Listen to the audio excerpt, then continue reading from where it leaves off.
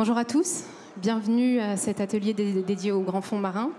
Je m'appelle Nadia Secker, je travaille à BPI France, à la direction de l'innovation, plus précisément à la direction de l'expertise. Et je suis enchantée de, pouvoir vous parler euh, de ce sujet, de pouvoir animer ce sujet euh, avec des intervenants que je, présenterai après, euh, mais qui sont, vous verrez, tous passionnants et passionnés par le sujet des grands fonds marins. juste en guise d'introduction, pour rappeler un petit peu le, contexte ce dont on va parler. La France, comme vous le savez, dispose du deuxième domaine maritime économique au monde, juste derrière les États-Unis. Mais figurez-vous que, avec une surface de plus de 11 millions de kilomètres carrés. Mais figurez-vous qu'en termes de grands fonds marins, euh, nous sommes la première, euh, sur le premier domaine euh, maritime en termes de grands fonds marins au monde. Voilà. Donc le sujet est d'importance pour nous. avec une superficie de 9,5 millions de kilomètres carrés. Hein. C'est une étude qui a été diligentée par la Fondation de la mer, par le cabinet Advention, qui, par une série de calculs, a abouti à ce résultat-là. Ce qui veut dire qu'en fait, on a 93% de notre domaine maritime en fait, qui est sous 1000 mètres de profondeur. Donc il y a vraiment une place importante euh, donnée aux grands fonds marins dans notre domaine maritime. Euh, pour, se repérer, pour se repérer un peu, pour se donner une idée un peu des choses, on a 66% en fait de la surface de nos océans qui appartient aux grands fonds marins. Alors, qu'est-ce qu'on entend par grand fonds marin? On peut déjà se poser la question de ce qu'on entend par grand fonds marin. On va dire que de façon grand public, c'est là où c'est la profondeur à partir de laquelle la lumière ne passe plus, hein, où la photosynthèse ne peut plus se faire. Donc on peut s'accorder, euh, en tout cas dans le cadre de France 2030, on a défini que c'était à partir de 200 mètres de profondeur que la lumière ne passe plus et qu'on rentre dans le champ des grands fonds marins. Alors ces grands fonds marins bah, font depuis quelques mois l'objet d'une rude compétition entre pays, du fait des nombreuses ressources qu'ils pourraient apporter, bien sûr, euh, de ressources qui sont d'autant plus critiques vu le contexte euh, géopolitique actuel, vu les tensions qu'il y a sur l'énergie et les métaux critiques, bien évidemment. Alors, à titre d'exemple, euh, on y trouve des nodules polymétalliques, des croûtes de manganèse, des dépôts de sulfure, mais aussi une fabuleuse diversité biologique, hein, une fabuleuse, de fabuleuses ressources biologiques. Euh, et dites-vous bien qu'en fait, on a seulement 10%, espèces des, 10 des espèces qui sont connues à ce jour dans nos océans. Donc il y a beaucoup à faire en termes de connaissances. Alors la stratégie française, d'ailleurs, euh, définie dans le cadre de France 2030, elle est très claire hein, par rapport à ça. Elle est de privilégier la connaissance. Euh, c'est d'ailleurs pour cela que le gouvernement a doté France 2030 de l'objectif 10, hein, euh, dédié aux fonds marins, l'exploration des fonds marins, d'un budget de 300 millions d'euros pour privilégier les technologies qui vont permettre d'explorer les grands fonds marins en vue d'une éventuelle exploitation à terme. Et d'ailleurs, ça a été repris par le comité interministériel de la mer en mars 2022. Euh, puisque je le cite, euh, il a été rappelé que l'exploitation n'était pas exclue à terme, mais que la connaissance scientifique de ce milieu était encore trop parcellaire pour définir les conditions d'une exploitation responsable et respectueuse de la biodiversité. Donc on voit que les grands fonds marins sont au cœur d'enjeux géostratégiques, écologiques bien sûr, et économiques. C'est donc à cette diversité d'enjeux qu'on va essayer de s'intéresser aujourd'hui avec mes intervenants, que, j'ai le, plaisir de, présenter euh, rapidement. Je suis euh, accompagnée aujourd'hui de Daniela Zeppili, qui est responsable du laboratoire environnement profond à l'IFREMER. Joanne Rongo, qui est ingénieur projet sous-marin chez Technip FMC. Bonjour. Bonjour Joanne. Jean-Marc Sonin, qui est président et cofondateur d'Abissa. Oui, bonjour à tous. Bonjour Jean-Marc. Et enfin, Francis Valade, qui apportera une vision sur toute la filière maritime, puisqu'il est fondateur et président d'honneur du cluster maritime français. Bonjour. Alors pour lancer le débat, ben, je vous propose déjà de, présenter assez rapidement vos activités et surtout de nous dire pourquoi vous vous intéressez aux grands fonds marins. On va commencer par Francis, si vous le voulez bien, en nous, expliquant quelles sont les actions en fait du cluster maritime français que vous représentez sur euh, les enjeux des grands fonds marins. Bonjour.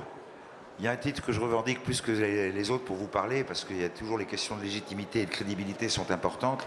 C'est que je vous parle aussi euh, en tant que euh, cofondateur et président d'une association qui s'appelle 7e Continent et qui se bat comme une folle depuis dix ans contre le plastique dans les océans. Et par ailleurs, co-auteur avec Isabelle euh, Autissier d'un livre qui s'appelle Notre avenir s'écrit dans l'océan.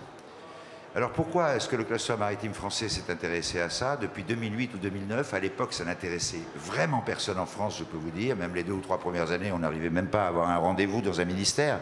Le temps va vite, hein, c'est incroyable.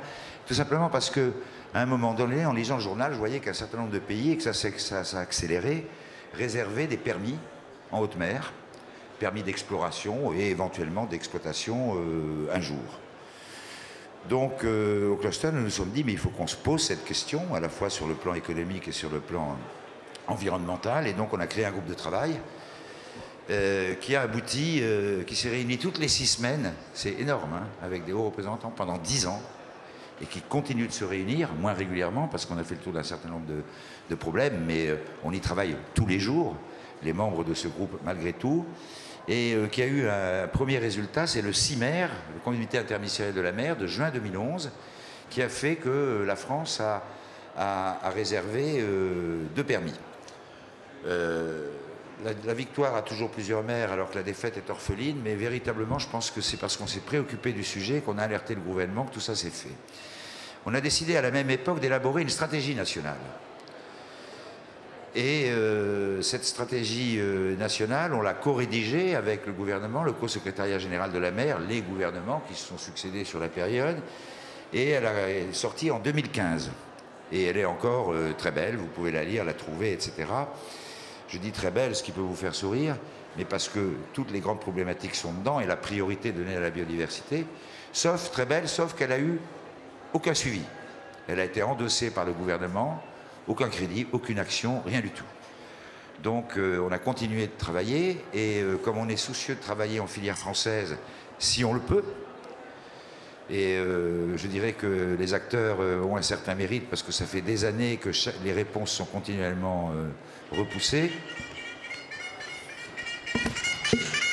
Alors Francis, le téléphone. C'est la cavalerie qui débat.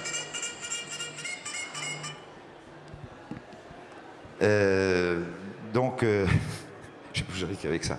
Oui, en 2019, comme ça n'avançait toujours pas, et ayant dans l'intervalle euh, conclu un accord avec euh, les, Allemands, notre équivalent allemand, en 2015, avec qui on travaille aussi une fois à Berlin, une fois à Paris, etc., sur tous ces aspects, mais le gouvernement ne bougeant pas, on a poussé un coup de gueule et un groupe de travail a été constitué autour d'un monsieur qui s'appelle Monsieur Levé, et pour la première fois, j'ai assisté à quelque chose, et vous voyez que je suis très vieux, que je n'avais pas vu en, 50 ans, c'est-à-dire tous les ministères euh, travaillant ensemble avec tous les instituts de recherche et euh, avec les représentants de l'économie. Donc euh, j'avais l'honneur de représenter avec mes deux acolytes qui sont là. Ce groupe a pondu une nouvelle stratégie nationale qui est sortie euh, euh, en juillet 2020 et qui a donné lieu, à la suite d'un nouveau comité interministériel, à une stratégie euh, nationale sur 10 ans, avec toutes les étapes, les financements, les différentes préoccupations, etc. On y reviendra. Rebelote, tout ce qui devait être fait qui était prévu en application, je ne rentre pas dans le détail, rien ne s'est fait pendant toute l'année 2021. Donc là, vraiment, ça a été extrêmement chaud. Et c'est là qu'est sorti l'objectif 10 de France 2030, qui est une partie de la stratégie nationale. Simultanément, on a mis en place un dialogue avec les ONG, informel pour beaucoup, parce que beaucoup demandent la discrétion, moins avec quelques-unes, dont une grande qui est WWF, avec laquelle on se réunit à peu près euh, toutes les six semaines. Et puis la dernière étape, c'est qu'on est devenu euh, euh, observateur à l'Agence internationale des grands fonds marins, qui est une agence onusienne. Hein, c'est le seul domaine dans lequel il y a une agence euh, pour prévoir la régulation de ces domaines. Et on est devenu euh, observateur cet été. Et par ailleurs, on, est en train d'inventorier, on a inventorié et de raffiner avec les pôles. Il y a d'ailleurs demain une réunion très importante à Brest toutes les entreprises qui sont, ou les acteurs, entreprises ou autres d'ailleurs, hein, qui sont dans les starting blocks pour travailler sur ce sujet en particulier sur un plan de rédaction, d'exploration. Et je terminerai en disant que simultanément, pendant toutes ces années-là, on a fait un énorme travail, une, une, feuille de route technologique identifiant 10 étapes techniques pour aller de l'exploration à une éventuelle exploitation. Je dirais comment on a fait pour protéger la biodiversité. Sachez simplement que notre esprit, que nous avons fait valider par les Allemands, ce qui n'était pas gagné au départ, c'est de dire s'il y a le moindre risque pour la biodiversité, il n'y aura pas d'exploitation. Si on n'a pas assez de connaissances pour savoir s'il y a un risque non, on n'y va pas non plus. Autrement dit, on n'y va que si c'est garanti.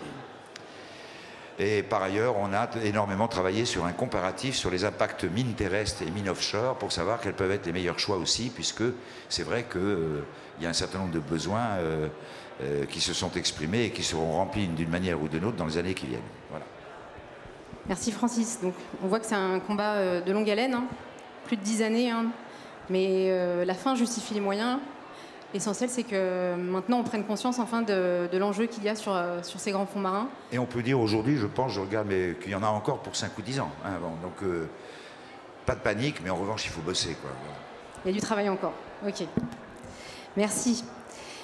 Maintenant, je vais donner la parole à Daniela Zepili de l'IFREMER. Vous pouvez nous expliquer un petit peu. Euh, bon, c'est un, un, institut qui est connu justement sur ces, sur ces sujets de grands fonds marins pour présenter un laboratoire dont vous allez nous expliquer les, activités, qui euh, a, beaucoup de, sujets de, recherche justement dans le domaine des grands fonds marins. Vous pouvez nous expliquer un peu pourquoi? Oui, bonjour à tous. Euh, dans mon laboratoire, on travaille à tous les composants de, tout le compartiment du vivant qui, qui habitent les grands fonds, donc des micro-organismes jusqu'aux animaux plus grands.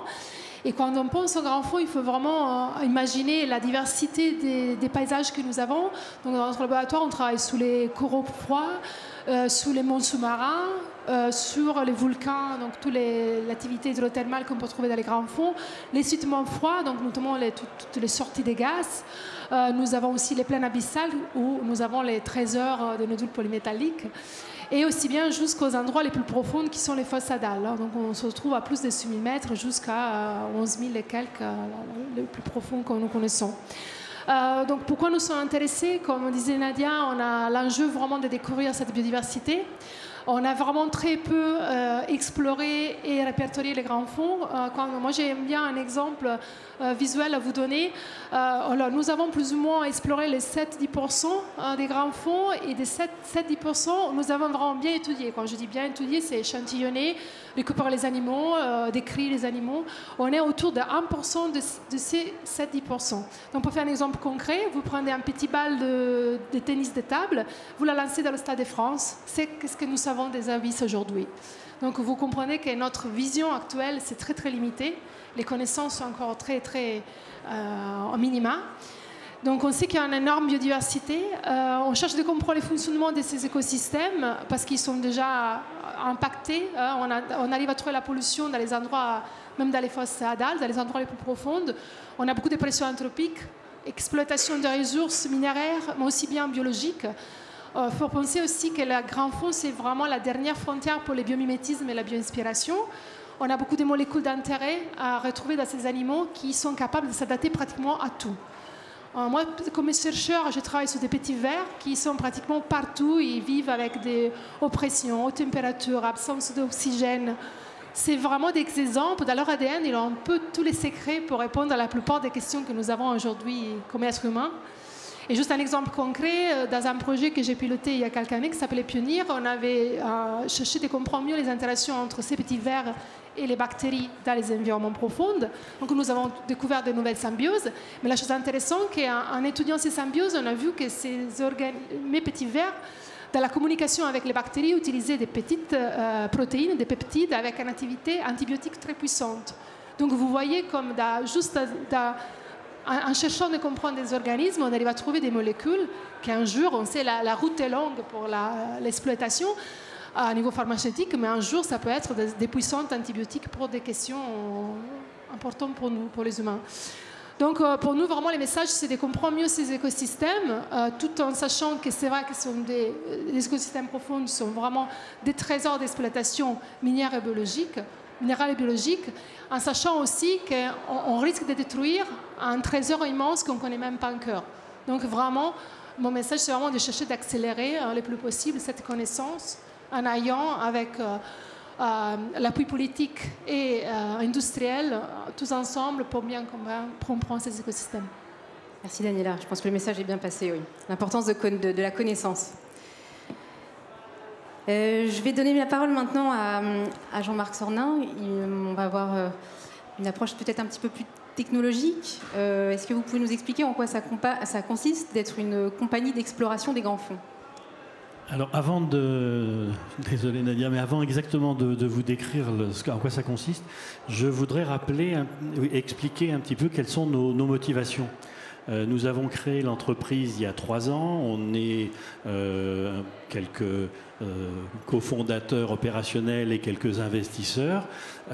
Et nos objectifs peuvent se résumer en tous les cas avec trois, visions, trois, axes. tout d'abord, on est, je le dis, on est océanographe.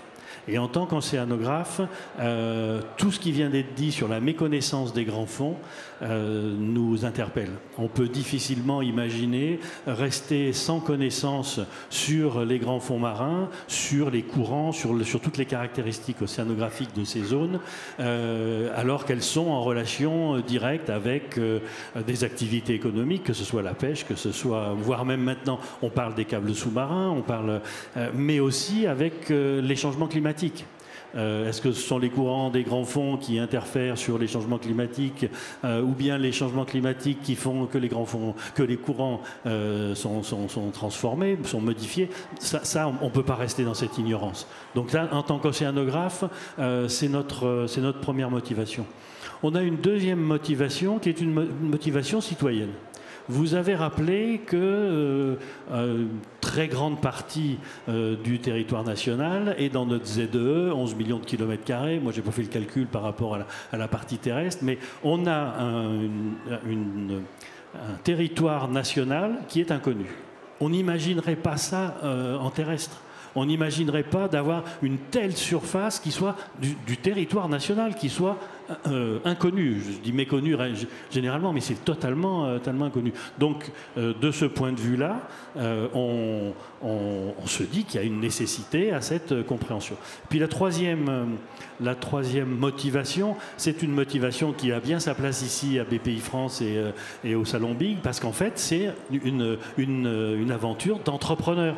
Nous sommes des entrepreneurs et nous avons une vision d'un marché qui va se développer par rapport à ses connaissances quelle qu'en soit la finalité, la connaissance de ces territoires sous-marins est une nécessité liée à des, euh, euh, nécessités économiques, environnementales euh, ou bien même énergétiques. Et donc, pour un entrepreneur, c'est une, vision de développement de marché, de ne pas laisser aller aussi n'importe qui sur ces marchés. On pourra revenir tout à l'heure par rapport à ça. Alors, je ne vais pas plus loin parce que j'ai une petite vidéo qui explique un petit peu, qui répond à votre question. Qu'est-ce que c'est qu'une société qui fait euh, de l'exploration sous-marine? Et euh, si vous voulez bien passer la vidéo qu'on a préparée. Alors, euh, il s'agit d'une opération qui a eu lieu euh, cet été euh, au, large de la Corse, donc c'est récent et proche, alors qu'on a des ambitions aussi beaucoup plus éloignées. Cette opération s'est déroulée dans un contrat de recherche avec l'Office français de la biodiversité. Euh, vous allez voir la mise en œuvre de ce qu'on appelle un AUV, c'est-à-dire un véhicule sous-marin autonome euh, capable de descendre ici à 3000 mètres euh, et de faire de l'exploration, c'est-à-dire, et là je réponds à votre question, c'est-à-dire de récupérer un certain nombre d'informations, de récupérer des données qui ensuite vont être traitées par, par les scientifiques.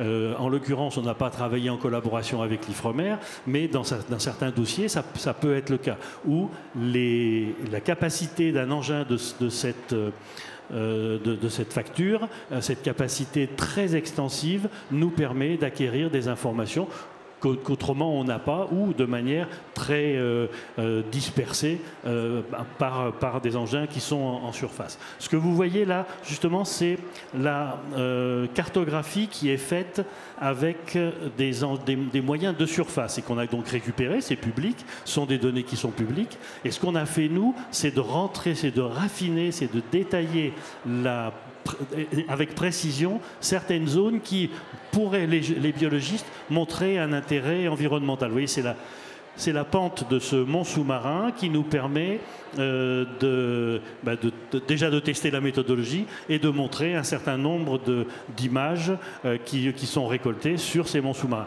ce que vous, voyez là euh, en, 4 minutes est le résumé d'une vingtaine de jours de mer. Donc évidemment, ça n'est pas significatif, mais ça, vous explique un petit peu ce qu'on fait dans une société, dans une entreprise qui fait de l'exploration des fonds sous-marins, c'est d'aller recueillir ce type euh, d'informations. Merci Jean-Marc. Donc importance du recueil de la donnée, hein, justement, pouvoir, qui vont venir nourrir ces cartographies des grands fonds, qui vont nous aider à mieux connaître ce qu'on ne connaît pas pour l'instant à, connaître, donc à comprendre et donc à, savoir pour prendre des décisions sur les zones, que ce soit les zones de protection. Là, en l'occurrence, j'ai cité l'Office français de la biodiversité. C'était pour le parc euh, naturel de marin de Corse, je vais mal le dire sans doute, mais euh, euh, et, donc c'est pour avoir, c'est pour bâtir des outils à la, à la décision de protection de, de, ces zones ou d'utilisation à des fins économiques ou énergétiques en, utilisant les eaux froides très profondes. Enfin, pour revenir dessus plus tard. Oui, on y reviendra bien sûr. Merci beaucoup. Et on va terminer cette première question avec euh, Joanne Rongo, donc de Technip. Euh, on connaît Technip comme un fournisseur de, technologies offshore. Alors, euh, quelle, est l'importance que revêtent les, grands fonds marins pour une, entreprise comme la vôtre? Oui, bah déjà, merci de nous recevoir pour cette, pour cette conférence. J'avais juste une question avant Jean-Marc. C'est quelle profondeur d'eau, là, les opérations en Corse? Je commence tout de suite. C'est extrêmement confidentiel. On est, on est aux alentours de 1500 mètres. D'accord. En, fait, le, véhicule sous-marin qu'on a utilisé avait une capacité de 3000, donc on était ric-rac. Mais effectivement, on est à 2005. Donc de, le, alors, le, le mont sous-marin qui a été étudié culminait à, aux alentours de 800 mètres et descendait avec une pente plus ou moins forte. Et c'est pour ça qu'on a eu quelques difficultés, et c'est ce qui était montré ici. Euh, mais on, descend, on, descend, on, est descendu à 2005. Ah, donc ça descend très profond dans le... 2005. Ok. très intéressant, merci. Mais écoutez, une présentation déjà rapide euh, du groupe Technip FMC. Donc effectivement, on est euh, un apporteur de solutions technologiques dans le domaine de l'énergie, avec historiquement, et c'est l'essentiel de notre activité, une activité pour le pétrole et le gaz. Euh, on regarde de plus en plus les énergies nouvelles également, mais aussi les, euh, grands fonds marins et les, métaux. Et les métaux qui pourraient s'y contenir. On est 1400 euh, personnes en France, à travers trois sites, donc Nîmes, Sens, Paris, où je travaille. Et on a notre usine de fabrication de flexibles en Normandie, FlexiFrance. On est 20 000 dans le monde.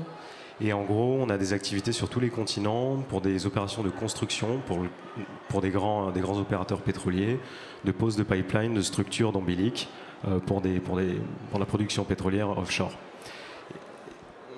Alors, ce qu'il faut savoir, c'est que l'essentiel de l'attrait pour nous, pour ce domaine-là, c'est que beaucoup des technologies qu'on développe sont applicables euh, potentiellement aux, grands fonds marins. Donc des technologies de pipeline, pipeline flexible, pipeline euh, rigide, euh, des technologies d'ombilique, donc en fait qui sont des, câbles de contrôle-commande pour apporter de la puissance et de l'information entre le fond et la surface. On a aussi des activités de fabrication de structures subsea, donc qui resteront en permanence au fond de la mer. Donc il y a des, euh, des compétences techniques spéciales en termes de résistance à la corrosion, en termes de, peinture, en termes de fiabilité de, ces structures-là qu'on veut appliquer peut-être demain dans ce nouveau domaine. Euh, on a aussi une flotte de bateaux en fait pour nos activités aujourd'hui de, construction qu'on pourrait réutiliser en tout cas sur des phases amont, peut-être sur des phases d'exploration, sur des phases de pré-pilote justement, c'est des choses qu'on regarde aussi. Et un point qui est, euh, intéressant, c'est qu'aujourd'hui l'industrie offshore oil and gas a des standards et des normes de qualité très élevés. On ne peut pas se permettre d'avoir des, fuites, on, on doit avoir une robustesse de fonctionnement de nos équipements pendant 25 ans en général, une fois qu'ils sont installés. Euh, et donc c'est ces hauts niveaux de qualité-là qu'on veut, qu'on veut, qu'on, peut proposer en tout cas dans, dans, le domaine des, minéraux marins. On a aussi toute une activité autour de la, des robots, en fait, ce qu'on appelle des ROV, des robots qui sont commandés depuis la surface. Donc, ce qu'a montré Jean-Marc, en fait, c'est un, un AUV, c'est un, un, engin autonome hein, qu'on, lâche au fond de la mer et puis qui va aller euh, cartographier, scanner une zone. Nous, on a une autre type de technologie, mais qui est complètement complémentaire avec celle qui a été présentée. C'est euh, un robot qui est en permanence relié à la surface et qui, avec des bras manipulateurs, il va, pouvoir euh, venir prélever des échantillons, manipuler des éléments sous-marins avec suffisamment de, force. Il faut que ce soit mécaniquement assez solide pour pouvoir bah, déjà bien sûr résister à la pression et, euh, pouvoir manipuler des charges suffisamment intéressantes pour les activités. Euh, et nous, dès le départ, ça fait effectivement aussi un peu plus de dix ans qu'on s'intéresse à ce domaine, euh, principalement pour, dès le début, essayer de comprendre quels sont les principaux enjeux et les principales contraintes techniques environnementales auxquelles on va devoir faire face et s'y préparer le plus en amont à travers de la recherche et développement. Et je veux citer peut-être quatre grands projets sur, sur ces dix dernières années. Et, j'ai oublié de le mentionner, je, le corrige tout de suite. On est membre du cluster maritime, bien sûr, depuis, le début du, groupe Grand Fonds. On est membre aussi d'autres clusters en, Allemagne et, en Norvège qui, qui regardent les, les, ressources minérales Grand Fonds. Voilà. Et donc, oui, pour revenir sur quatre projets, un premier, justement, un projet d'exploration qu'on a mené en partenariat public-privé avec l'IFREMER, justement, entre 2010 et 2012. On a, on a co-sponsorisé trois campagnes d'exploration des eaux de Wallis et Futuna, avec à l'époque de, bah, vraies découvertes. Hein. Je pense que l'IFREMER a fait de, de, nombreuses publications dessus. Euh, il y a un nouveau volcan, un nouveau mont sous-marin qui a été découvert, avec potentiellement dessus donc, ce qu'on appelle les sulfures massifs, vous l'avez évoqué en introduction, donc qui sont euh, ce qu'on appelle des fumeurs noirs, en fait des cheminées hydrothermales, euh, et qui contiennent potentiellement des taux très élevés de cuivre, de zinc, de nickel, de beaucoup en fait de métaux de la transition énergétique. Donc on pourra, en revenir dessus. On a fait ensuite un projet pour une société qui s'appelait Nautilus Minerals, où on, on s'est occupé de la fourniture du système complet de remontée de l'eau et des roches du fond à la surface, donc une tuyauterie rigide avec, avec des systèmes de pompe associés. Un peu plus tard, entre 2016 et 2018, un projet sponsorisé par euh, BPI France qui s'appelait Fauna Surf. Donc, euh, on a travaillé sur un, concept pilote d'exploitation de sulfure, en fait, avec ce qu'on avait pu euh, comprendre et apprendre de Wallis et Futuna, notamment les, contraintes de bathymétrie, les contraintes, les variations assez importantes du, fond marin. Comment est-ce que nous, on peut réutiliser au mieux nos technologies Comment est-ce qu'on doit les adapter? Qu'est-ce qu'on doit changer quand on fabrique des pipes flexibles, par exemple, pour les adapter à ces nouvelles contraintes? Et enfin, un peu plus près de nous, on a fait une campagne de, carottage pour le compte du gouvernement norvégien en 2020. Donc en fait, la Norvège a aussi potentiellement dans ses eaux des, ressources qu'elle cherche aujourd'hui à, en tout cas, à mieux comprendre, à mieux connaître. Et à ce titre, on a fait donc des, carottages, en fait, dans des, là encore des, sulfures. Voilà quelques, quelques projets. C'est varié, c'est divers, c'est varié. Bon, merci beaucoup, ça nous fait, ça nous fait voyager, ça nous fait rêver. Je, vais, passer à la deuxième question euh, qui fait le cœur de, notre table ronde en fait. Hein. Le, thème de Big aujourd'hui, c'est la métamorphose. Et je pense que ce thème de la métamorphose, on peut parfaitement l'appliquer à la thématique des grands fonds marins, parce qu'on voit bien qu'on a un changement de paradigme euh, auquel on a affaire hein, dans la filière maritime. Euh, auparavant, on explorait pour exploiter, alors que maintenant, on, doit d'abord explorer et on voit si, éventuellement, comme vous disiez Jean-Marc, euh, on voit si éventuellement on a, un intérêt à exploiter euh, en, à la base en s'appuyant sur un certain nombre d'outils d'aide à la décision qui nous permettent de prendre justement la bonne décision en connaissant les risques auxquels on, se, on sera confronté, auxquels on doit faire face. Donc je, trouvais, on trouvait intéressant de voir comment chacun, depuis votre fenêtre, vous, vous, vivez ce changement de paradigme justement. Euh, euh, donc cette métamorphose de la filière. On va commencer par euh, Daniela, parce que vous m'avez expliqué, Daniela, que euh, auparavant, il était difficile de, parler des grands fonds marins et de l'exploration, la nécessaire exploration des grands fonds marins, parce qu'on était sur des pas de temps qui n'étaient pas compatibles avec une exploitation, enfin avec des, contraintes économiques qui sont celles des industriels. Et apparemment, maintenant, les technologies que vous avez développées à l'IFREMER et dans d'autres instituts euh, vous permettent d'aller beaucoup plus vite et de rendre justement cette phase de nécessaire exploration compatible avec les pas de temps qui sont les pas de temps des développements industriels. Euh, oui, tout à fait. Je pense qu'on est vraiment un gros tournant dans la science des grands fonds. La première chose, c'est vraiment l'accès aux grands fonds. Hein. Maintenant, on a vraiment possibilité d'y aller beaucoup plus facilement. On commence à développer des observatoires fonds de mer où on peut vraiment monitorer la, la vie les écosystèmes, et tout ce qui se passe sous les longtemps. Et surtout, il y a vraiment une révolution au niveau technologique pour les pour de la vie. Euh, dans, les derniers 5-10 ans, il y a eu vraiment une accélération de tout ce que c'est ADN euh, environnemental, euh, utilisation des méthodes omiques, qui nous permet de répondre à plein de questions, mais ont montré aussi les limites de la manque de données de référence des, animaux des grands fonds. C'est clair, on a des gènes, mais ce sont des espèces qu'on ne connaît pas, donc on n'arrive pas à associer ces gènes à des organismes parce qu'ils n'ont jamais été répertoriés avant. Par contre, une révolution qui est vraiment en train d'avoir lieu maintenant, c'est l'imagerie tous les avancées que l'imagerie a fait dans la médecine et dans l'industrie qui est maintenant en train d'adapter pour la vie.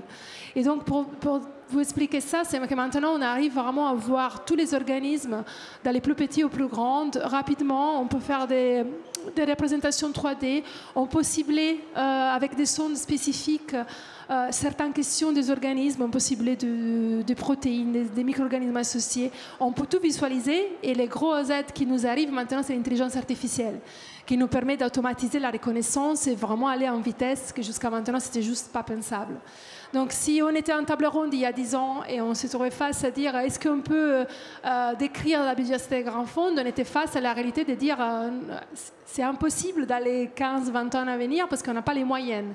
Parce qu'un taxonomiste tout seul, euh, en train de regarder l'animal au microscope, il n'arrivera jamais hein, à, faire la tâche de décrire la vie qu'il y a dans les grands fonds. Maintenant, on a vraiment un gros, gros aide qui arrive dans la nouvelle technologie. Il y a plein de projets qui sont portés par la France aussi sous ces thématiques qui sont en train vraiment de mettre à point euh, la technologie existante. Et donc, euh, ce que je vois, c'est que dans quelques on, est prêt, hein, la technologie est prête, on est en train de l'adapter, et dans quelques années, on pourra vraiment massivement arriver à la connaissance de la diversité des grands fonds si on continue avec un travail euh, avec l'industrie et, avec l'aide politique.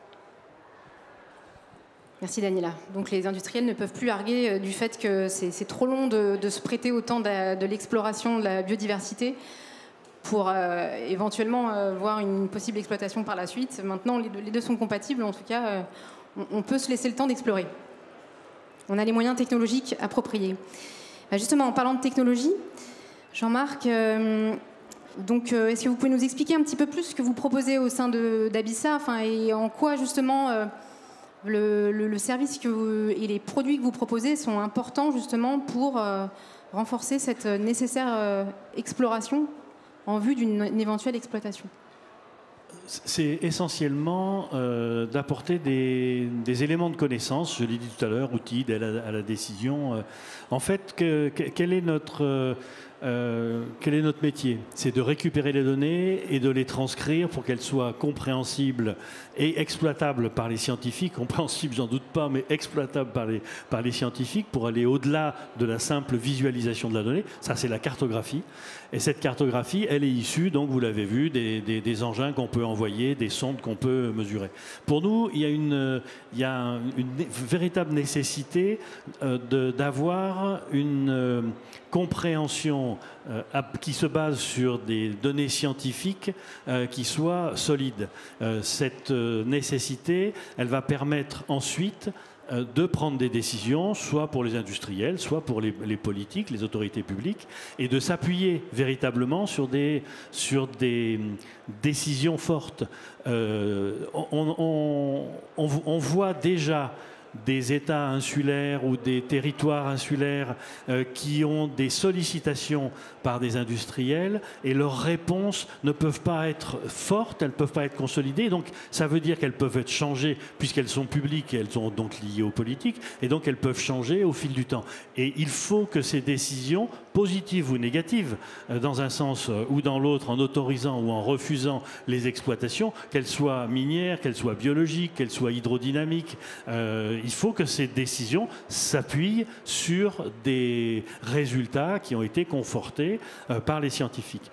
La collaboration entre le secteur privé et le, secteur public, c'est-à-dire la recherche académique et ce que nous, euh, dans les entreprises, on peut faire, c'est tout à fait à l'image de ce qu'a dit euh, Johan tout à l'heure par rapport à un partenariat public-privé où d'une certaine manière, nous, notre métier, c'est d'aller faire des cartographies extensives, non intrusives pour ne pas, pas modifier les, paramètres euh, de la biodiversité, mais extensives, et ensuite, sur ces zones qui ont été cartographiées, de définir des cibles qui sont les cibles préférentielles sur lesquelles les instituts académiques vont aller euh, mener leurs recherches. Ensuite, avec ces résultats, on va progressivement, et là je pense que Francis Valla en parlera tout à l'heure, mais on va progressivement acquérir des connaissances qui vont être confortées et qui vont permettre notamment aux industriels qui peuvent faire de l'exploitation, qui vont permettre de prendre des décisions qui se font par étapes. Euh, je pense que Francis Valla parlera du système de cliquet. Euh, on, ne peut pas d'un coup euh, interdire ou d'un coup euh, autoriser tant qu'on n'a pas cette progression de la connaissance des fonds par rapport à tout un tas de paramètres. Alors je ne veux pas rentrer dans les détails, mais ça va de ce qui est hydrodynamique, c'est-à-dire les courants, euh, à ce qui est la biodiversité, la géodiversité, tout ce qui fait notre métier d'océanographe. C'est clair, merci. Merci Jean-Marc. Joanne, Justement, euh, que pensez-vous euh, de cette transition d'une approche exploitation euh, vers une, approche exploration pour une, entreprise qui, qui fait de l'exploitation offshore Est-ce que c'est compatible avec sa stratégie industrielle Est-ce que ça fait partie de, des valeurs de l'entreprise, justement Voilà, comment, comment vous adhérez à cette, à cette problématique-là? Alors, déjà, juste un, un, point de clarification. Nous, on est on apporte des structures, enfin des, tout ce qu'il faut à notre client opérateur pour que lui exploite. Ensuite, nous, on part. C'est comme ça, en tout cas, qu'on fonctionne, euh, on fonctionne aujourd'hui sur nos projets euh, pétrole-gaz. Euh, et il n'y a, pas de, changement prévu pour si demain on devait aller sur, des mines marines. moi, je pense que en réalité, les, les explorations et exploitations, c'est peut-être pas aussi clivant et, et, et aussi clair le distinguo entre les deux. Parce que c'est un continuum en fait. Quand vous partez explorer une zone que vous ne connaissez pas, au départ, vous êtes peut-être plus sur des, notions de, bathymétrie, de connaissances vraiment euh, à très haut niveau du terrain. Et puis petit à petit, vous allez zoomer et en fonction des objectifs que vous avez, vous allez regarder euh, avec plus d'intérêt certaines parties de, de, de ce que vous regardez. Euh, et c'est un petit peu le sens de ce qu'on a fait avec l'Ifremer il, y a plusieurs années. C'est-à-dire que l'Ifremer avait le lead. C'était un bateau Ifremer qui était en exploration. Et nous, on était euh, derrière pour, pour mieux comprendre qu'est-ce que ça voudrait dire demain d'intervenir dans cette zone-là. Mais on, avait, on associe dès le départ euh, les scientifiques, et pour rebondir sur ce qui a été dit, sur ce qui vient d'être dit, c'est absolument essentiel d'améliorer la connaissance scientifique de base pour, pour construire ce qui va être de toute façon un requis absolu par toutes les réglementations euh, qui sont déjà en place ou à venir, c'est une baseline environnementale et c'est des études d'impact complètes pour montrer qu'on comprend ce qu'on fait, euh, quel type d'impact on va avoir, quel type de euh, mitigation on peut mettre en place pour diminuer ces impacts et, euh, définir les niveaux d'acceptation pour le milieu environnemental et plus globalement pour la société. Qu'est-ce qu'on peut accepter ou pas, justement, quels sont les niveaux d'acceptation? Et ça, c'est essentiel de le prendre en compte dès la phase amont. Et enfin, aujourd'hui, ce qu'on voit, c'est absolument indispensable pour tous les industriels de le prendre en compte, parce qu'ils vont devoir adapter leur technologie ils vont devoir changer des composants sur leur machine, ils vont devoir euh, euh, fiabiliser les engins, ils vont devoir euh, diminuer au maximum les impacts et diminuer l'intrusivité de ce qu'on développe.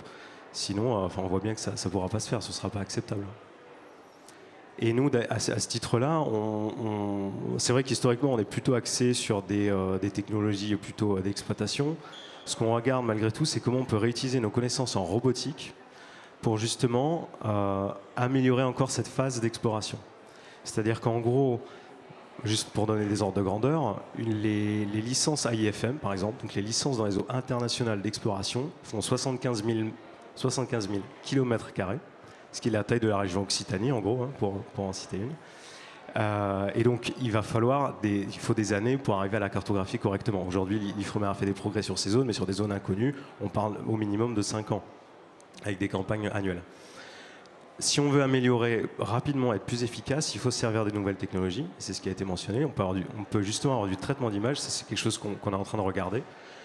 Pour en fait, euh, quand on vient faire de la cartographie de nodules et pour mieux quantifier la quantité de nodules qu'on a sur le fond marin, donc en fait c'est des, des, concrétions à forme d'à peu près de la taille d'une patate hein, qui sont sur les fonds sédimentaires des, plaines abyssales. On développe euh, en fait un skid, un, équipement supplémentaire qu'on va venir monter sous un des robots qu'on développe qui va venir se déployer sur la zone, scanner le fond marin et compter automatiquement le nombre de nodules présents, ce qui va éviter de faire un prélèvement systématique d'à peu près à une demi-tonne à chaque fois. Sinon, actuellement, ça se fait au grappin. En fait, vous, lancez un grappin depuis la surface et vous le récupérez. Nous, on va essayer de robotiser ça de façon à ce que ce soit moins intrusif.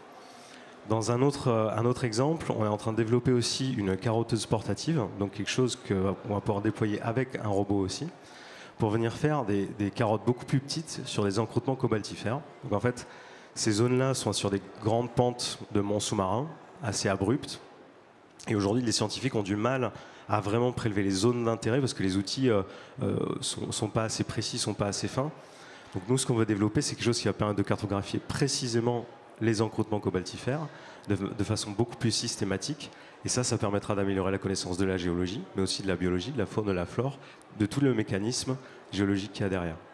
Donc je pense qu'on peut, euh, euh, avec le dialogue dont on a parlé, avec l'implication de toutes les parties prenantes, on peut arriver à avoir quelque chose de beaucoup plus euh, dégradé et lissé plutôt qu'un clivage, on va dire, très net entre exploration et exploitation, ce qui, à mon avis, fait, fait de moins en moins sens, en fait. Entendu. Merci. On voit que ça, ça, crée pas mal d'innovations technologiques, en fait, hein, cette, cette phase d'exploration, justement. Euh, ça vous force à, enfin, ça, force les entreprises de l'offshore à, se réinventer aussi, euh, à trouver des nouvelles, des, nouvelles technos qui soient adaptées euh, avec des contraintes de développement qui soient adaptées à, l'environnement dans lequel ils vont évoluer. Donc, et, probablement avec des, débouchés qui peuvent aller au-delà du, débouché auquel on a pensé à l'origine.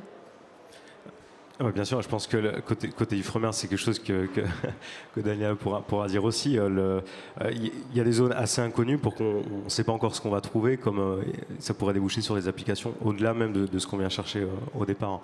Nous, en fait, ce que ça veut dire pour nous concrètement, c'est qu'aujourd'hui, on est habitué à traiter du, liquide et du gaz, en gros et on est plutôt intéressé par ce qu'il y a sous, vraiment dans des réservoirs profonds sous le fond marin. Là, on doit un petit peu se réinventer sur certains aspects parce qu'on parle demain de solides, du coup. On transporte avec de l'eau, mais des solides, des choses qu'on n'est pas habitué à voir. Euh, et on parle aussi de connaissances de surface beaucoup plus larges. En général, sur les projets qu'on mène, on s'intéresse au fond marin pour connaître la bathymétrie, euh, pour connaître éventuellement les propriétés du sol quand on installe des, structures pour être sûr qu'elles tiennent bien en place, mais on ne va pas à ce niveau de détail. Et donc là, c'est quelque chose que nous, on doit aussi se former là-dessus, apprendre à mieux comprendre ces aspects-là, même d'un point de vue scientifique. Si, je peux compléter sur les innovations, c'est effectivement un domaine qui, euh, qui est très prometteur euh, et qui est très demandeur d'innovation. Euh, nous-mêmes, on a été lauréat du concours mondial d'innovation de BPI France il y a, il y a quelques années pour mettre en place des systèmes qui sont non intrusifs, qui permettent de cartographier les fonds de manière extensive, j'ai déjà dit à plusieurs reprises, et qui utilisent des engins, des véhicules sous-marins qui sont autonomes euh, et qui sont et qui naviguent en flotte coordonnée. Ça, jusqu'à maintenant, ça fait vraiment partie des innovations. Et on se rend compte qu'au fur et à mesure, on discute avec nos fournisseurs, euh, on se rend compte que ben, eux-mêmes, par rapport à notre demande, développent de nouvelles innovations. On, est vraiment, par rapport à ça, par rapport à ces innovations, rentrés dans, dans un cercle vertueux qui nous permet de, de, monter vers le haut tout ce qui concerne les innovations vraiment cercle vertueux de l'innovation collective. Merci, merci Jean-Marc. Euh, je vais terminer euh, du coup cette question avec, euh, avec Francis Vallat. Est-ce que vous pouvez nous dire comment du coup, alors bon, on a bien compris le, propos de Joanne, hein, on ne va pas parler de, dichotomie ou de, cassure brutale entre exploration versus exploitation, mais que ça se fait dans une phase de transition. Mais comment vous faites, vous, côté cluster maritime français, pour accompagner justement cette transition vers, euh, une nécessaire exploration? Merci Nadia. Je vais répondre. Et comme il s'agit de métamorphose, je vais vous dire pourquoi, à ce niveau-là, quelle est la principale métamorphose. Mais avant, je voudrais euh, apporter deux précisions. Le fait qu'il y ait ce continuum euh, ne doit pas laisser à penser que moi, je crois fondamentalement que la problématique des grands fonds marins peut être la première étape d'une nouvelle ère, d'une nouvelle façon de travailler entre toutes les, personnes de bonne volonté, de la sensibilité écologique, les ONG, les industriels, etc. Et donc on sort de l'époque où, malgré ce continuum, si vous voulez, on disait ben, dès qu'il y a exploration, il y a automatiquement exploitation. Non, c'est pas du tout ce que nous pensons, et c'est pas non plus du tout ce que pense euh, Johan, qui a raison de décrire le continuum, mais qui sur ces points a une position aussi ferme que la nôtre. D'ailleurs, il nous aide à nous coordonner sur le plan euh, technologique. Alors pour moi, la, je vous avais aussi, deuxième chose, vous avez parlé des contraintes économiques des industriels. Vous êtes pour rien, mais je pense que c'est une opération, c'est une expression qui est dangereuse. Ce qui est important, c'est quelles sont les contraintes économiques pour l'homme, quelles sont les contraintes environnementales pour la planète? L'humanité subsiste si la planète, enfin pour protéger l'avenir de la planète et protéger l'avenir de l'homme. Donc, euh, et puis au, service de tout ça, l'avenir de l'homme et tout, vous avez des industriels, des scientifiques, etc. Mais les industriels, ce pas des plutocrates qui sont là pour faire du profit sur l'industrie. C'est ça qui est en train de changer, si vous voulez. En tout cas, c'est ça tout le rôle du cluster.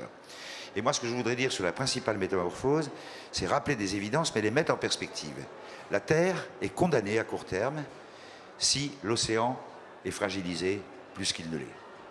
C'est le principal régulateur climatique. Je ne rentre pas sur l'argumentaire, il est bien connu euh, des gens qui connaissent ces problématiques. Premier point. Sans l'océan, la Terre est foutue et l'océan va mal. Deuxième point, l'être humain, oui, c'est le principal prédateur du monde vivant. C'est le principal prédateur du monde animal. Il est capable du pire et du meilleur, mais comme les autres, il a droit à la vie lui aussi. Le troisième point, c'est qu'il faut faire très attention à la façon dont on possède. On ne sauvera pas la planète contre l'homme, mais avec l'homme. Il faut qu'il adhère à ce qu'on parle. On ne sauvera pas les générations futures si on n'a pas l'adhésion des générations présentes, si elles n'ont pas une vie décente. Tout ça, ça fait partie du problème. La progression démographique, qui nous donne un pic avec environ plus de 3 milliards euh, d'habitants en 2050, sauf si on se décide à tuer des centaines de millions d'enfants, de femmes, etc., la pression euh, démographique est incontournable et nécessite que l'homme mange, active, etc. Donc tout ça, il faut y arriver. Il faut arriver à le faire de front. Les besoins de matières premières, les métaux, mais il y en a d'autres, sont indispensables avant tout, on le sait depuis une dizaine d'années, pour la transition énergétique, pour les éoliennes, pour les batteries, pour la digitalisation. Les besoins sont exponentiels. Sinon, vous n'aurez pas d'outils de, de transition écologique. Sixième point, le recyclage, qui est la meilleure des solutions. On sait que par rapport à ces besoins exponentiels, il est insuffisant et à horizon prévisible sur cette période de décennie dont je parle, il faut absolument l'accélérer, mais il ne sera pas suffisant. Septième point, il y a des acteurs, qu'ils soient des États ou des entités privées, qui sont prêts à avancer sans scrupule, sans respecter aucune règle. De tout ça, nous avons tiré deux conclusions. La première, on pourra en parler au niveau du débat, la nécessité de faire attention à ne pas menacer tout ce que l'autorité internationale des grands fonds a d'utile pour euh, les futurs codes qui devraient être appliqués par tout le monde, pour générer des pouvoirs de police, etc. Et puis le deuxième point qui pour moi est le plus important de tout ce que je vous ai dit, c'est que nous sommes tous condamnés au développement durable, dans les deux termes de l'exception. Développement pour les générations futures, durabilité pour l'avenir de la planète et de la Terre.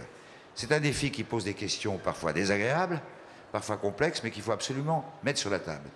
Et la principale métamorphose pour moi, c'est que ce terme de développement durable qui date, qui a été créé à la fin des années 60, je crois, par la première ministre de la Oise de l'époque, qui est continuellement invoqué, il se, commence à se matérialiser sur des points très importants. Je disais, il faut que les, personnes de bonne volonté, de toutes les sensibilités, se parlent. Il n'y aurait rien de pire que les ONG qui avancent de l'autre côté, les parallèles, les industries en parallèle, ça va se bloquer. Ça va bloquer. Il faut absolument qu'on travaille ensemble. Et nous, nous avons dit que pour les organismes, pour la gouvernance de tout ce qui doit se mettre en place, pour l'approche des fonds sous-marins, à chaque stade, nous l'avons dit, il était question d'un démonstrateur, il est question à chaque instance, nous sommes les premiers à dire, il faut que ce soit avec les ONG. Sinon, ça ne se fera pas. Alors j'y reviendrai tout à l'heure au niveau de la conclusion. Comment nous répondent euh, les ONG, sachant qu'elles sont bien souvent dans une position difficile qu'elles n'expliquent pas, c'est qu'elles sont toutes les grandes ONG mondiales dans une coalition qui marche à l'unanimité. Et comme toujours, quelque chose où il y a beaucoup de monde, 14, 15 organisations, et que la règle est l'unanimité, qui est-ce qui gagne? C'est ou ceux qui bloquent ou les extrêmes. Donc ça ne rend pas facile les choses, mais nous n'avons pas le choix. Et je peux vous dire que euh, au niveau du cluster maritime français, on ne transigera pas avec ces deux dimensions, ni l'une ni l'autre. Il faut arriver à les concilier et on pense que c'est possible. Mais ça, ça sera pour la, réponse à la prochaine question. Ok. Bon, bah, merci. On va peut-être faire une petite pause. Je voudrais savoir juste s'il y a des questions euh, sur Internet, par exemple. Est-ce que je peux rajouter un mot? Oui, oui, bien sûr. On est dans un contexte où on dit on va jamais y arriver. On a pris du retard. Le GIEC nous dit vous avez trois ans, etc. Les plus vieux d'ici, je regarde, si vous voulez, on était dans le même état quand on parlait du problème de la couche d'ozone il y a 30 ans. On était sûr à un moment donné qu'on n'y arriverait plus. La couche d'ozone s'élargissait, euh, les rayons, etc. La Terre était foutue, le danger pour l'humanité, on ne savait pas comment aller, aller euh, résoudre. Je vous assure que l'angoisse, les plus anciens s'en souviennent. aujourd'hui, le problème de la couche d'ozone est réglé. Elle sera complètement reconstituée en 2050. Donc battons-nous, ça vaut le coup. Message est passé. Merci Francis. C'est vrai qu'il y a un combat à, mener sur les, sur les grands fonds marins. Je reprends ce que disait Jean-Marc sur le fait que c'est incroyable qu'on ait une telle surface en fait qui soit si inconnue. Et je suis tout à fait d'accord avec vous. Euh, si ça avait été le cas pour la surface terrestre, ce serait, serait pas pensable. Tout à fait. Est-ce qu'il y a des questions? Non. Alors peut-être des questions dans la salle? Est-ce que vous voulez souhaiter poser une question à nos, à nos intervenants?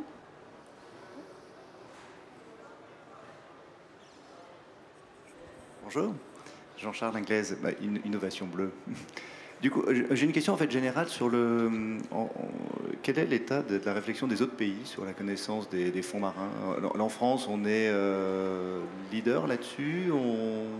On, est plutôt bien placé? Ou comment ça se passe? Parce que dans le maritime, on est pas mal en France, de manière générale. Mais, sur la connaissance des fonds marins, je ne sais pas. Alors, euh, il faudra que Johan, euh, notre coordinateur technique, complète ma réponse. Ce que je peux vous dire, c'est comment on a commencé à travailler. Nous étions le seul pays au monde, le seul, à pouvoir avoir des interlocuteurs, des professionnels, des experts, etc., pour chacune des dix étapes dont je parlais tout à l'heure, les seuls. Donc on pouvait aller voir, il y avait un intérêt pour nous, bien sûr, ensuite ayant ces, ces, zones sur les dorsales. Bon, ça pouvait être intéressant pour la France euh, de s'intéresser au problème des grands fonds, mais aussi sur ce plan-là, puisqu'on pouvait aller voir les pays qui n'ont pas ces connaissances technologiques et leur dire on était le seul pays, vous voulez le menu, vous voulez travailler à la carte, etc. Donc énorme atout pour la France, on était très en avance. Ça a été repéré d'ailleurs, les Japonais et les Allemands ont demandé à nous rencontrer parce qu'on n'était pas les seuls à faire l'analyse. Tout le monde savait qu'on était les mieux placés. Et on a décidé de travailler avec les Allemands et pas avec les Japonais. Ça n'a rien contre les Japonais, disons que c'était plus simple, et puis ils sont européens, etc. Dans l'intervalle, à la suite de ce que je vous ai dit tout à l'heure, sans aucun mauvais esprit, parce que moi je suis hyper loyal vis-à-vis de mon pays, etc. Mais il y a eu tous ces blocages, toutes ces immobilistes, toutes ces stratégies décidées, et rien derrière, pendant que d'autres pays ont avancé. Je citerai les USA, l'Angleterre, l'Allemagne, la Belgique, euh, la Hollande, etc. Et on, est toujours bien placé, mais c'est maintenant que ça se joue, et pour deux raisons. C'est qu'on approche quand même d'un point de bascule, même si c'est encore très long, où il va vraiment falloir que les choses avancent. Et deuxièmement, si on veut avancer en tant que Français, n'oublions pas qu'il y a aussi des entreprises qui ont besoin de vivre, euh, et qu'à un moment ou à un autre, elles risquent de céder aux sirènes de l'étranger, alors que pour l'instant, elles acceptent vraiment et quelquefois je trouve ça admirable, des positions très difficiles pour continuer de donner une chance aux entreprises françaises ensemble et qu'il y ait une filière française. Mais ça ne durera pas aussi longtemps. Donc on n'est encore pas trop mal placé, bien moins qu'au départ, et je sais que Johan, il va dire des choses, euh, il travaille aussi euh, avec les gens du monde entier. Oui, effectivement, on avait un très bon départ. je pense qu'on avait très bien commencé, même, même il y a très longtemps, dans les années 70.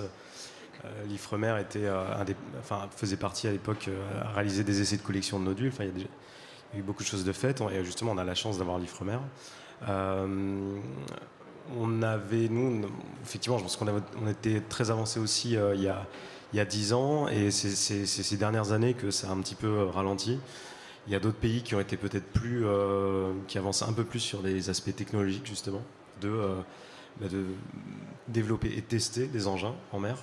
Euh, le, ouais, bien sûr, le, Japon a, eu un programme assez, assez ambitieux pour aller tester. Ils ont, ils ont regardé des sulfures et des encroûtements cobaltifères, en gros, dans, leur, dans leurs eaux, mais aussi euh, dans les eaux proches dans le Pacifique. Euh, en ce moment, c'est la Norvège qui est vraiment un des pays les plus avancés. En fait, la Norvège est en train de, de mettre, a mis déjà en place un premier canevas juridique pour encadrer une première phase d'exploration qui est euh, sous l'égide du gouvernement et des institutions qui s'occupent aujourd'hui du pétrole, donc qui prennent aussi en charge le sujet euh, minéraux marins. Ils commanditent des campagnes d'exploration, euh, celles dont j'ai mentionné au, début, on y a répondu donc auprès d'acteurs privés ou publics, des instituts, des académiques aussi, mais ils gardent à la fin la donnée et les résultats. Et ils sont en parallèle en train d'avoir des consultations publiques sur justement ce qu'on discutait, euh, quel cadre législatif plus précis pour l'exploration? Est-ce que la société dans son ensemble est, OK pour parler d'exploitation? Et ça, ils sont en train d'avancer assez vite en fait. Ils ont, je pense, ils ont compris deux choses. C'est que euh, le pétrole est, plutôt en phase descendante dans les zones norvégiennes, euh, qu'il y a une énorme industrie là-bas qui est axée autour des ressources pétrolières et que s'ils veulent pouvoir se reconvertir, bah, ça peut être une réponse, en tout cas les, ressources marines. Voilà. Johan vient de, de citer... La Chine, la Chine, la Chine, bien sûr. Johan vient de, citer le terme de consultation publique. Je pense que c'est extrêmement important. Aujourd'hui, euh, les entreprises sont dans les starting blocks, prêtes avec euh, un certain nombre de technologies. On a parlé tout à l'heure d'innovation, euh, avec à, nos côtés les, instituts académiques, y, compris les universitaires, le CNRS. Enfin, vraiment, vous êtes un, très grand nombre de, chercheurs liés à l'océanographie. Et tout ça, tout ça est prêt. Effectivement, comme l'a dit Francis, euh, on, a euh, un, panel de, compétences et de capacités euh, qui est extrêmement étendu, et pour autant, on n'avance pas. Mais je vais peut-être mettre un peu les pieds dans le plat, mais on n'avance pas parce que la commande publique liée à l'exploration elle-même n'avance pas. Alors, heureusement, et, c'est là, c'est assez symptomatique de voir, on en parle ici à BPI France, mais assez symptomatique de voir que France 2030 a ciblé un objectif sur les technologies, mais également sur les services et sur les explorations. Les deux doivent être, les deux doivent être liés. Je suis un peu monomaniaque par rapport à ça, parce que je le cite très souvent, mais les fournisseurs, le développement euh, technologique euh, a besoin des utilisateurs. Et toutes les innovations dont on a parlé sont au service des utilisateurs, qui soient purement académiques, scientifiques, on a les mêmes fournisseurs d'ailleurs, ou bien plus appliqués, ou bien avec euh, des développements euh, ultérieurs. Donc tout ça, euh, Johan a insisté sur l'idée d'un continuum, mais c'est aussi un continuum dans le développement des, technologies, et ça ne peut se faire pour un certain nombre d'activités que par de la commande publique.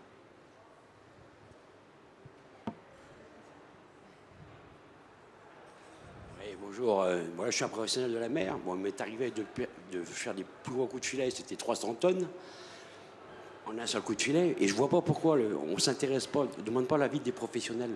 Parce que sortir des, patates des grands fonds qui pèsent 1 ou 2 kilos, euh, c'est pas très compliqué pour un professionnel. Quoi. À 5000 mètres? Le, le, le, problème, c'est pas tellement que ce soit très compliqué, c'est que dans quelles conditions on peut les faire, où est-ce qu'elles sont, précisément. Euh, dans quelles conditions on peut les faire, dans quelles conditions on les remonte. Euh, tout ça, tout ça euh, a priori, ne peut pas se faire sans avoir la connaissance. On, sait très bien. Mais non, ça ne peut pas se faire dans ce sens-là. Il faut, il faut déjà qu'il y ait la connaissance. Mais non, il faut déjà la connaissance des sites. Par exemple, est-ce qu'il y a des courants importants sur ces zones? On dit que non ça reste à voir. S'il y a des courants importants, tout ce qui est remis en suspension euh, comme, comme sédiment, comme vase, va se développer, se déployer et on ne sait pas encore sur quelle distance. Il y a, beaucoup de, travaux de simulation qui ont été faits, euh, mais ça, nécessite d'être pris au, préalable. On peut pas, si on rentre déjà dans l'exploitation ou un début d'exploitation sans avoir fait les études scientifiques, euh, sans que nos, collègues de l'académie aient fait les études scientifiques, on, rate une étape. Et d'ailleurs, dans le travail qu'on avait fait avec le, cluster maritime, on avait prévu un démonstrateur. Je, l'ai mis un imparfait, c'est déjà un très mauvais signe. On avait prévu euh, un démonstrateur qui avait toutes ces étapes-là. Et on commençait par les étapes de connaissance. mais est-ce que vous posez autant de questions quand les bateaux de l'intermarché, moi j'y été, on pêche par, par 1000 mètres de fond. Est-ce qu'il y a du sédimentation la vase J'étais dans le Pacifique, par 2000 mètres de fond, pêcher l'orange refit. On ne se posait pas autant de questions, on pêchait, c'est tout. Mais c'est pas parce qu'on ne se posait pas de, tant de questions au siècle dernier qu'aujourd'hui euh, on doit s'en poser. On, a parlé de changement de paradigme et de métamorphose, là on est en plein dedans. Hein. Oui, euh, voulais poser une question concernant euh, l'exploitation des résultats. Euh, comment est-ce que vous imaginez exploiter les résultats issus de la biotechnologie, notamment au niveau des règlements qui ne sont pas les mêmes dans les différents pays? Et, j'allais rajouter peut-être une autre question. Euh, je crois qu'il y a la surface, disons, les espaces maritimes nationaux et internationaux. Et vous n'avez pas fait cette distinction dans votre présentation. Est-ce que c'est volontaire ou, pas? Non, non, pas du tout les espaces nationaux, les eaux territoriales, etc., sont sous la juridiction directe des États où, a priori, ils peuvent faire ce qu'ils veulent. Je fais partie des raisonnablement optimistes, mais il faut être très méfiant. On a eu des exemples contraires euh, de trucs qui ont été très très mal faits. Heureusement, ça s'est arrêté en Papouasie, euh, Nouvelle-Guinée ou ailleurs. Je fais partie de ceux qui pensent que le jour où existera un code international qui est prévenu, il est repoussé d'année en année, mais qui est prévu donc sortir par l'autorité nationale. Je fais partie de ceux qui pensent euh, qu'il sera difficile, parce que ça se voit, hein, une exploitation. Donc il sera difficile euh, en cachette de ne pas respecter, même dans ces eaux, enfin de, s'en passer. Mais vous avez raison, ce n'était pas exprès. Euh, les États peuvent faire ce qu'ils veulent, alors que dans les eaux internationales, c'est pour ça qu'il y a cette autorité des grands fonds. Je ne sais plus quelle était votre autre question, c'était?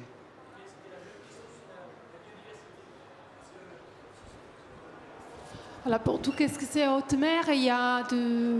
Oui, il existe notamment les accords de Nagoya et la Convention de Rio. Et maintenant, il y a la BBNJ qui est en train vraiment de travailler tout ce que c'est biodiversité dans la haute mer, donc euh, c'est quand même 54% euh, de la surface de, nos océans, c'est quand même dans, cette zone internationale que c'est bien commun de l'humanité.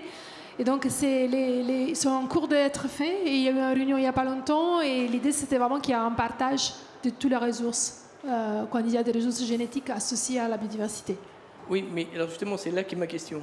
Euh, là, vous parlez en termes de recherche. Moi, je parle en termes d'exploitation par les entreprises, ce qui n'est pas tout à fait la même chose. Normalement, la, loi va s'appliquer aux deux. L'idée que c'est un contrôle vraiment de tout ce que c'est. Euh, par exemple, les États-Unis, à ma connaissance, ne sont pas signataires de la Convention de Rio. Attendez, les États-Unis sont signataires de rien, mais ils sont observateurs partout. Vous le savez, hein et exploitants. Oui, ils vont l'être probablement un jour. Ils font partie des pays que je citais tout à l'heure. Mais ils ne pourront pas s'affranchir des règles. C'est impensable.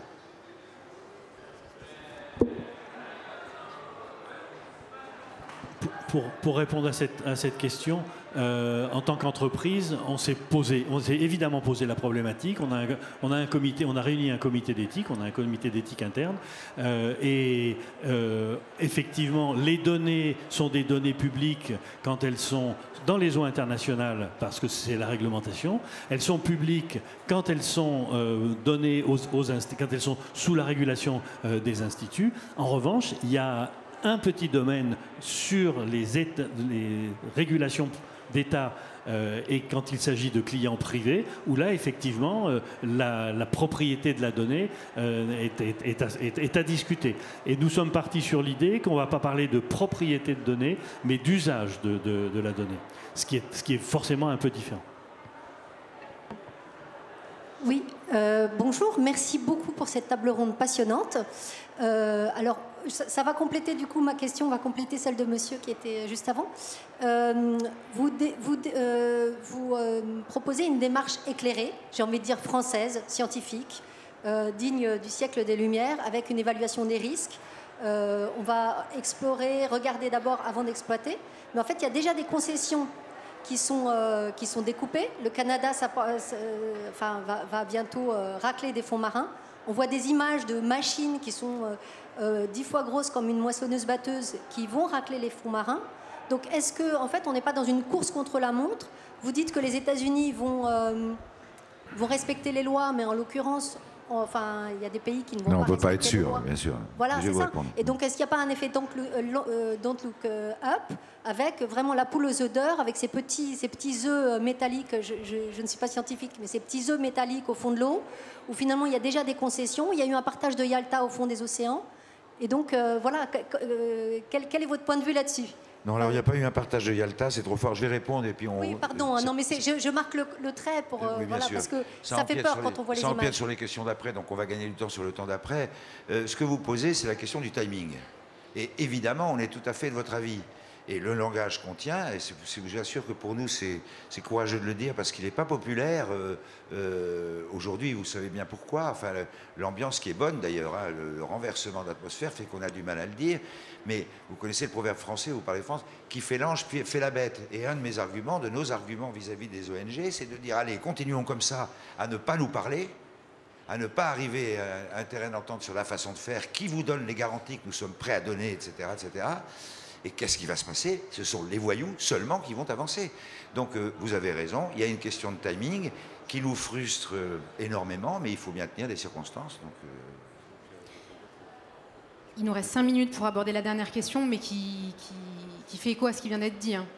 on voit bien qu'il y, a un enjeu, il y a un équilibre, hein, un, espèce de travail d'équilibriste, hein, de fin équilibriste à avoir entre les enjeux politico-économiques, comme le disait Madame. Il y, a, apparemment des gens qui sont déjà peut-être qui ont déjà pris le, train en marche et qui ont et qui prennent pas le temps de l'exploration et qui sont peut-être dans une phase d'exploitation.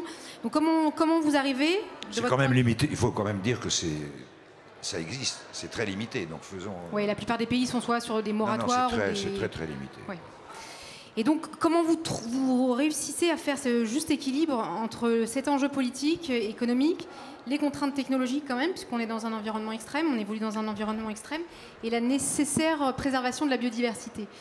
Euh, Typiquement, Daniel, est-ce que vous pouvez nous dire un peu, euh, là on voit un peu le rôle central que l'IFREMER a euh, et sa particularité, puisqu'il est au carrefour entre c'est un organisme de recherche, il est au contact avec les partenaires industriels qui ont plutôt une vocation à exploiter, hein, à faire du chiffre d'affaires, bien évidemment. Euh, et puis, euh, à côté, euh, des associations, des politiques publiques, des institutionnels qui ont vocation quand même à, défendre le, bien commun de l'humanité. Donc, vous pouvez nous expliquer? IFREMER, c'est vrai que c'est vraiment un institut très spécial parce qu'il y a vraiment cette triptyque de recherche, appui aux politiques publiques et accompagnement à l'industrie. Donc ça nous met vraiment, vraiment avec face à toutes ces réalités. Et je trouve un exemple que ça peut être très parlant pour revenir à commentaire qu'on vient d'avoir. C'est par exemple qu'Ifremer est mandataire par la France comme contractant vis-à-vis de l'autorité internationale des fonds des mers. Donc ça signifie que depuis le début de l'histoire, nous sommes euh, en même table euh, dans, les, les, discussions et dans les négociations sur le futur code minier. Avec par contre la France, qui donc est dans un rôle d'être déjà un des pays historiques, euh, avec ce rôle scientifique derrière, donc on cherche vraiment de, faire l'exploration bien, et c'est quelque chose qui s'appelait beaucoup l'autorité. Et ça nous donne aussi un poids dans, les, discussions, parce que quand même on se trouve face à, plusieurs pays avec euh, des visions différentes, hein, pas tout avec cette vision, on peut dire, éclairée. Et c'est vrai que ça, je trouve moi aussi que ça permet beaucoup plus euh, d'avancer plutôt que se mettre complètement en retrait en disant, en disant si on n'y va pas, c'est mieux. C'est clair, on n'y va pas, c'est mieux, mais on est face à la réalité que très prochainement, quelqu'un y ira, et donc c'est mieux peut-être y être présent, faire au mieux, euh, montrer au mieux notre connaissance scientifique pour que euh, les mots biodiversité rentrent dans les codes euh, les mots impact rentrent dans les codes et je pense que ça, c'est pas un rôle négligeable de, notre institut. Et voilà, je pense que c'est déjà quelque chose qui, qui revient aussi au discours que vous venez de faire. C'est important qu'on a vraiment cette optique de connaissance au service de la politique pour, pour l'industrie derrière. Est-ce que quelqu'un veut, rajouter quelque chose justement sur, cette, euh, sur cet équilibre euh, entre ce triptyque politico-économique Moi je pense, mes amis, moi j'ai déjà beaucoup parlé, j'ai quelque chose Écoutez, on l'a bien vu, euh, l'essentiel, si on a en face de nous, si on arrive à réunir autour de la même table, disons plutôt que les hommes de bonne volonté, ça fait un peu évangélique, les personnes de bonne foi, si vous voulez, on voit bien que l'essentiel, c'est d'arriver à faire la démonstration que les risques peuvent être levés, ou qu'en tout cas, on peut arriver à des situations dans lesquelles on sait si on peut y aller ou pas y aller. Comme je le disais tout à l'heure, s'il y a un risque, on n'y va pas, s'il y a un risque de risque, on n'y va pas non plus, et ainsi de suite. Bon, on a mis en place, euh, Jean-Marc Sornin a fait allusion à plusieurs reprises à la méthode décliquée, mais c'est pour incarner auprès de vous à quel point c'est sérieux notre approche. Vous avez dix phases, dont je parlais tout à l'heure, et ce que nous proposons, c'est avec une gouvernance associée avec les ONG, qu'en fin de première phase, pour chaque phase a été définie, c'est notre coordinateur technique qui a fait coordonner ce travail dans le groupe, c'est vraiment un travail très sérieux, ça a pris deux ou trois ans de le faire. Voilà ce qui est indispensable pour contrôler euh, ce qui peut se passer sur le plan environnement, etc. Et à chaque phase, euh, la question est posée, est-ce qu'on peut passer de la phase 1 à la phase 2 S'il y a un risque, on n'y va pas. Si on dit oui, le risque est sous contrôle, etc., on va à la phase 2, et ainsi de suite. Donc, si vous voulez, on, est allé assez loin dans la réflexion, dans les outils qu'on propose. Et si on rajoute à ça le fait que même ces essais, si euh, finalement il n'y aura peut-être pas de démonstrateurs comme on l'avait demandé, et, qui pourtant était très soutenu par, euh, par les environnementalistes aujourd'hui, mais, mais même on était prêt à les associer, mais finalement ils ne veulent pas de démonstrateurs. Euh, si, on, un jour on arrive à, faire des, des, opérations, comme ça se fait déjà sur les dorsales par exemple, c'est sur des surfaces qui sont toutes petites, quelques kilomètres carrés. Je veux dire, l'océan, c'est 71% de la surface du monde. Un changement. Donc, quand je dis que c'est tout petit, c'est pas que c'est négligeable. Il faut très très bien faire les choses, mais on peut beaucoup plus facilement euh, travailler et travailler efficacement. On peut se mettre d'accord aussi sur la définition de ce qu'est l'état zéro d'un lieu que vous nous aurez euh, amené à conduire pour pouvoir suivre l'évolution une fois que les travaux. Donc, on a des vrais outils pour répondre. Donc, pour moi, aujourd'hui. Allez, c'est pas parce que je suis, euh, je suis pas un être éthéré, je suis pas un intello. Hein, toute ma vie, euh, j'ai travaillé dans le monde de l'économie, mais pour moi, à mon avis, le principal problème qu'on a aujourd'hui, c'est d'arriver à parler objectivement avec des gens qui ont envie de parler avec nous objectivement. Et, s'il y a des ONG ici, moi, je serais très content qu'elles se lèvent et qu'on en parle devant vous. Le problème qu'elles ont, à mon avis, et que je comprends, c'est qu'il faut toujours être plus bleu que bleu. Le premier, si vous voulez, qui à la limite, euh, ouvrirait une brèche dans un dialogue possible avec nous sur cette base, eh ben, ils ont un peu peur qu'ils passent pour un traître. Donc c'est ça notre, notre difficulté. Pour moi, le principal problème, il est là. Il n'est plus objectif, il n'est plus les méthodes, elles sont connues, on peut avancer. On a des acteurs partout qui se parlent. Euh, on a des trous dans notre raquette, mais on parle à des Européens. Euh, bon, les États sont très fortement mobilisés. Nos États sont très très fortement mobilisés. Ils ne laisseront plus faire n'importe quoi, enfin, etc un dernier mot, du coup, euh, c'est cette notion de démonstrateur dont on avait parlé. En fait, dans tous les cas, ce qu'on est en train de discuter, c'est. Euh, on a parlé des contraintes techniques. Par exemple, les champs de nodules sont situés au milieu du Pacifique, entre 4 et 6 000 mètres d'eau, à 4-5 jours d'import de navigation. Euh, les campagnes d'exploration sont taillées pour en gros 30 à 40 jours d'autonomie du bateau. Il faut mobiliser des moyens robotisés assez pointus pour être assez fin dans la détection des images et de ce qu'il y a au fond et des prélèvements, mais assez robuste parce qu'on est dans un environnement marin, salin. Euh, on peut avoir des fenêtres météo très compliquées qui fait qu'on doit annuler les opérations.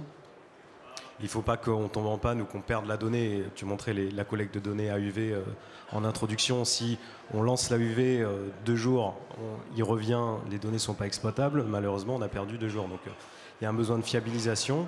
Et ces mêmes contraintes-là, on va les avoir aussi demain si on a une exploitation.